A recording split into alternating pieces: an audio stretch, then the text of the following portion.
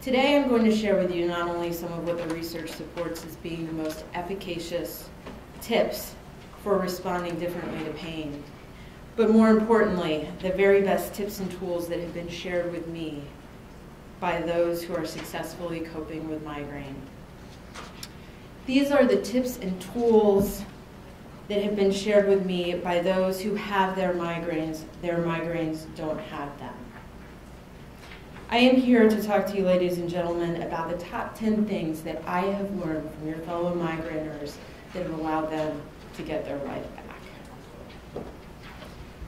So the first thing that I've learned from migraine sufferers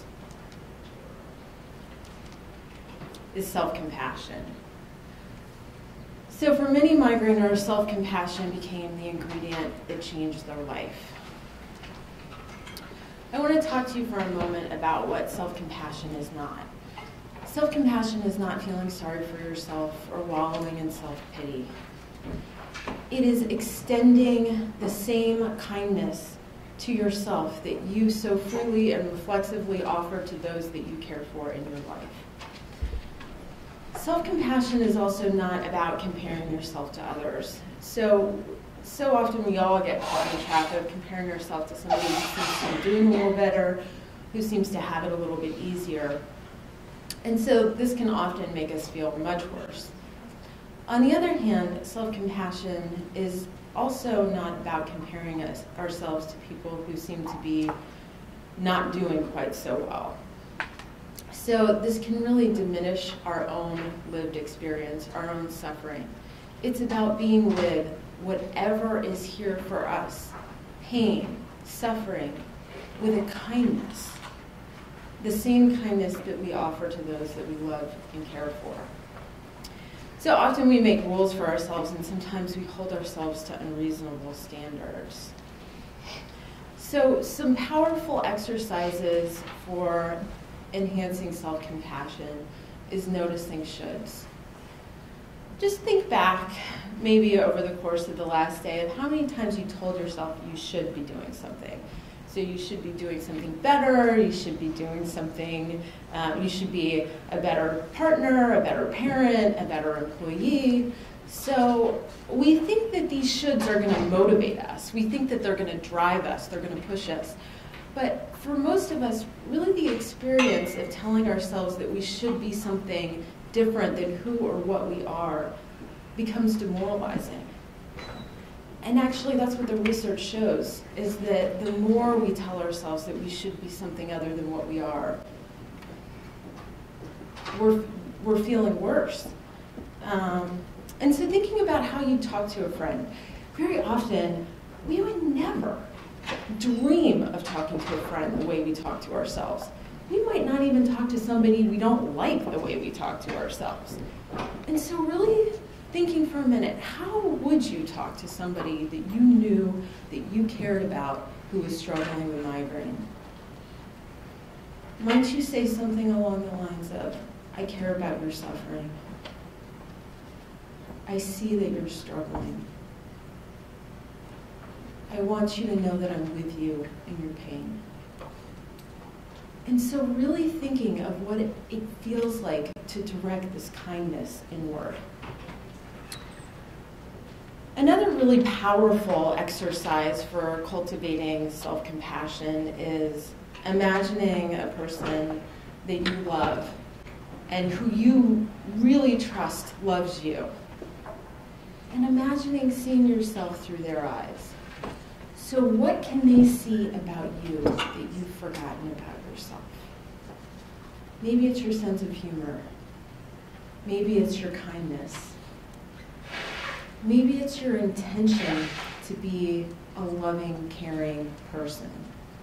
And so just remembering to see yourself in the same way that those who care for you most do. So the second thing I've learned from migraineurs is to decatastrophize. And so it is so normal when you are in intense pain to go to a worst case scenario to think about all of all of what could be terrible that can happen right now. And the, the fact of the matter is, often these thoughts that come with that kind of intense pain are legitimately terrifying. And so the people that I see who are really on top of managing their response to pain, it's not that they never catastrophize, it's they that they recognize it for what it is and they've learned to respond differently to that thought. And so these are some examples of catastrophic thoughts that I hear. Um, some of these may look familiar. You may have your own brand of catastrophic thinking that comes up when you're in a lot of pain or when you're anticipating being in a lot of pain. Um, and so, what do we know about catastrophic thinking or worst case scenario thinking? We know that it intensifies the possible negative impact of pain. It intensifies helplessness in response to pain. We also know that it results in elevated pain ratings, reduced ability to tolerate pain, and greater disability both through self-report and clinician evaluation. So our ability to respond to pain is reduced in addition to the pain being more intense. What you're looking at here is a worksheet. So this is the nuts and bolts of cognitive behavioral therapy. This is a worksheet on decatastrophizing. And so the idea is that catastrophic thoughts are made of two elements. The first is overestimating how bad a negative event will be, and the second is underestimating how much control you'll have in dealing with the event. And so the idea is that when you, you first look at how bad the event will be and you list the thoughts, the evidence, and I mean cold, hard facts for that being true, and then cold, hard facts for reasons why it's false. And I mean the kind of cold, hard facts that you could only show in a court of law. So these are not thoughts or estimations, they're facts. And then on the other hand, looking at how much control you have over the situation. And so the idea is when you sort of work through this, the same way you might work through a math problem, at the end, what shakes out is something that may not look like sunshines, rainbows, and butterflies, but it's something you can deal with. It's something that is more grounded in reality and is less terrifying. And this is what people who are managing their response to migraine are, are using. And uh, again, it's not that they're not having catastrophic thoughts. They're identifying it and then working with it. Number three, the antidote to fight, flight, freeze. So pain and fear travel together. They're like best friends. We know that um, part of the pain network activates the fear response in the brain. So our brain has evolved to fear pain, to avoid pain, and to remember how to avoid pain. When in pain, the part of our brain associated with fearful emotions goes into overdrive. This is called the amygdala. And the body's survival instinct kicks in, and we're now in a state of stress, which can heighten the experience of pain. So the question becomes, how do we deactivate this fight, flight, freeze? What, what quiets this down? So the really amazing thing is when I ask people, what do you do when you're in that much pain? Besides take medication, what do you do to help calm yourself? Anyone who is a pet owner will tell me the same thing. They snuggle they get close. Yeah, they get they get close with their pet. They snuggle with their cat, their dog. And this is because comfort, connection, care, love, it deactivates that emotional fear response in our bodies. And how do we know this? Because we know about Aww. something called oxytocin. So, oxytocin is the body's natural painkiller. It's a hormone that's released in the body to a large extent during childbirth, breastfeeding, intimate partner relations, and to a lesser extent when we're close to the people that we love, when we're feeling connected, when we're feeling a sense of belonging. So, number four, sleep. Never underestimate a good night's sleep. Some startling statistics In the last 50 years, our sleep on weeknights has dropped from 8.5 hours to just under seven. 30% of employed Americans are getting six hours of sleep a night or less, and 70% of Americans describe their sleep as insufficient. Sleep deprivation results in higher levels of cortisol in the body the next day. Cortisol is the body's stress hormone, so we're more stressed often if we're sleep deprived. Lack of sleep also increases the activity of a gene linked with inflammation.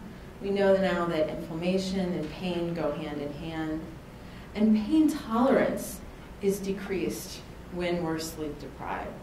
So, so often I see the connection between getting a better night's sleep and managing migraines better. But I also hear that people tell me, you know, when I've had a good night's sleep, I can respond a little bit better to my migraine. I feel like I have more control or I can tolerate it a little bit better. So for, for episodic migraine sufferers, two consecutive days of either high stress or low sleep were strongly predictive of headache. Two days of low stress or adequate sleep were protective. And headache activity was highest when high stress and low sleep occurred concurrently during the prior two days, denoting an additive effect. So just some tips on sleep hygiene. Uh, wake up at the same time each day, go to sleep when you're tired, not before probably the most important thing is get up if you can't sleep after 15 minutes. So often we spend time in bed tossing and turning, being stressed and frustrated. And what this does is this pairs the experience of being stressed with the bed.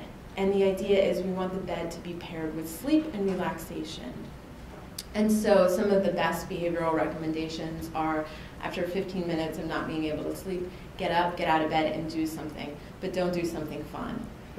Do something that is really mundane and I don't want to say kind of miserable, but something, you know, like reading the dictionary or scrubbing the floor.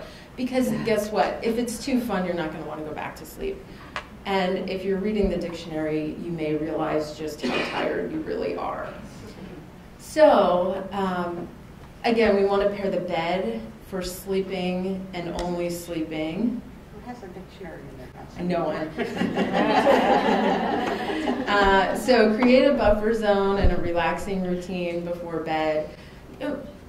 It's the same thing we do with small children. So, you know, they take their bath, they brush their teeth, you read them a story, you tuck them in. So the body likes this kind of winding down routine. Also, don't worry in bed. If you find yourself worrying in bed, get up, get out of bed. Um, all the obvious stuff, avoiding screens, heavy food, caffeine, and alcohol just before bed. So number five, physical exercise. And I had all of this research on physical exercise and migraine and managing pain, but I decided just to keep it to the basics. So enhance endorphin levels. So again, endorphins are our body's natural pain relievers.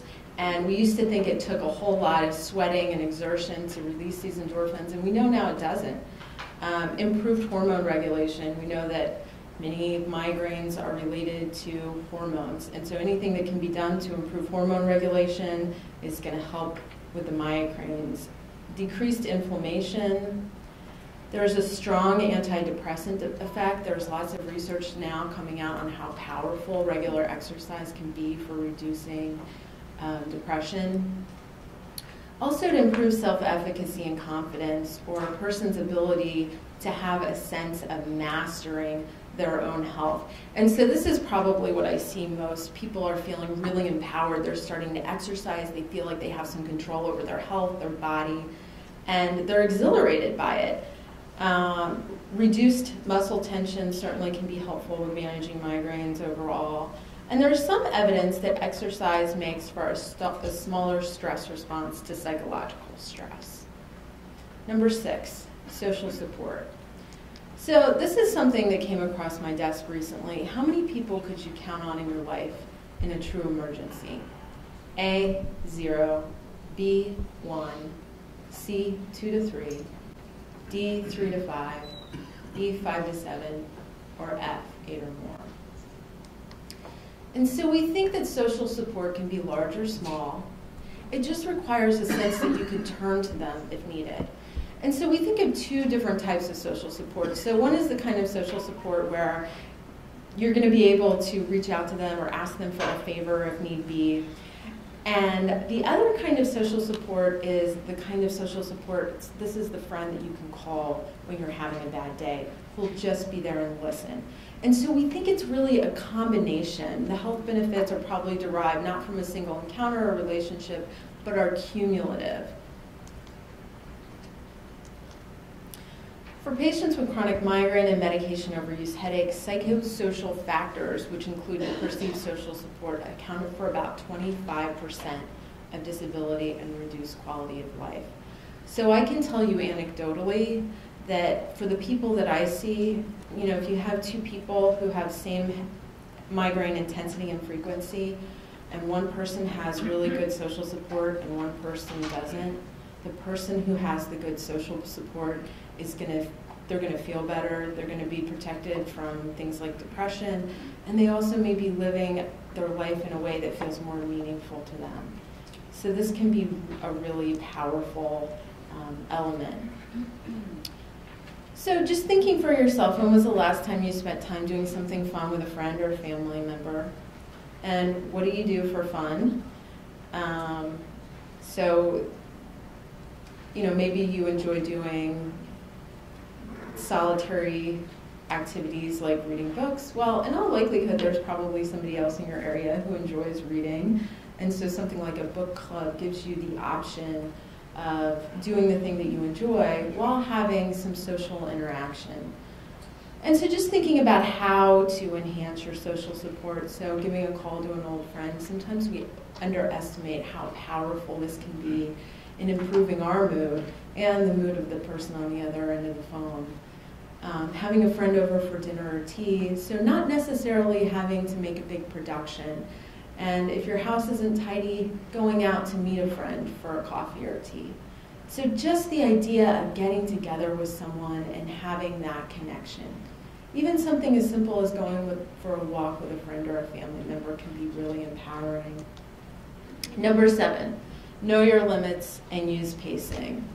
Overextending oneself during a stressful task, we think, could induce headaches in some cases. Um, you know, it's not uncommon for people to engage in kind of a boom bust pattern of activity.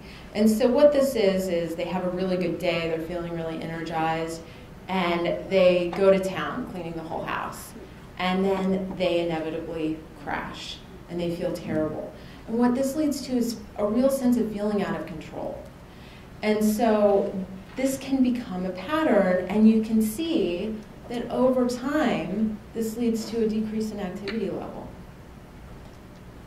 A better option is pacing your activity, which leads to improvement over time. And so the idea is maybe 20 minutes of cleaning and 20 minutes of rest. And so you may be saying to yourself, Are you kidding me? It would take me forever to clean my house. But the idea is, is that it's leading to improvement in the activity level, and you're not finding um, the sort of crash where, where people begin to feel really out of control. Um, so pacing is about judging when to stop an activity based on time, not on pain. Pacing will give you more control. And the baseline should be used on a good day as well as a bad day. Um, to begin with, you may find it difficult to limit yourself on a good day. This is what most people find um, using a baseline leads to improved tolerance and achievement, and taking a break is not a sign of weakness or failure. It's a wise move to allow you to gradually work towards building up your stamina. Eight, transforming suffering into resilience. How will I grow from this? A wise man and a horticulturist once told me that some of the most beautiful flowers on earth only grow in the desert. And so thinking for yourself, how am I growing from this adversity? How have I changed in a positive way because of this? So I get to hear some really amazing things from the people that I work with. You know, one of the things I hear most commonly is people are more compassionate towards themselves or towards others people may learn that, um, you know, growing up, many of us learn that it's always important to take, put other people first. And sometimes we wind up so saddled with obligations and responsibilities, we forgot what really mattered most to us. And so people tell me that they're learning to live more authentically than they've ever lived before. And that the migraine has really changed um, how they have been living their life. I also hear about people who become advocates for headache or for other illness. People tell me that they've learned that just because others have needs or wants, um, that that doesn't, that's not an excuse to put their own needs dead last. Um, I often hear how important uh, relationships are. And so people tell me, you know, I wouldn't have realized what a gem I had in my partner had it not been for these migraines. They've stuck by me through thick and thin.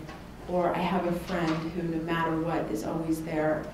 And really recognizing and appreciating these relationships comes out of this migraine experience. I also hear, and I think what sort of strikes me the most is when people tell me that their whole life they believe that they were valuable because of what they do or what they do for other people. And from the migraine experience, they've learned that it's not what they're doing because, quite honestly, migraine can limit what you do, but it's how they're being with the people that they love. And so that's something that they can still control. They may not be able to go to every family function, but how they are when they're there is what matters most to them. Number nine, find a new purpose or passion. So, purpose and passion is not static. Um, so, here's a picture of a guy, maybe he ran his whole life, and as he aged, he found that he couldn't quite do the same thing, and he found a new passion for swimming. And so, I hear some really cool things about how people have found new passions or senses, a sense of purpose. So, one woman who was an outstanding businesswoman and a sales rep and really passionate about her career had to retire early because of her migraines. And she started taking care of her granddaughter. And at one point she said to me, you know, I have I've found a kind of fulfillment that I never knew before. And this became a real sense of purpose for her. Um, I worked with a formal, former social worker that found that ministering to the sick in her church fulfilled her need for purpose. And a woman that found that she could still crochet even when her migraines were at their worst, and she began crocheting blankets for the homeless. Number 10, find hope in yourself, not just the experts. Those who put all their hope in the experts, the doctors, medicine, or the latest scientific advances, are often disappointed. These well meaning humans and institutions also have limits. Those that do best trust their own body's ability to heal, take positive steps towards self care, and trust their own ability to cope with their condition in addition to using conventional medicine. And finally, migraine treatment is best served buffet style. So while many people may be able to gain migraine, control from medication alone, a multidisciplinary approach is recommended for those more severely affected. And I would also argue that, you know, so much of what we're doing here is about this sort of um, buffet style. And I think it's not just for those who have more severe migraines, but I think it's for people who really want to have control themselves of their migraine experience. So thank you so much for having me, and I hope this was helpful.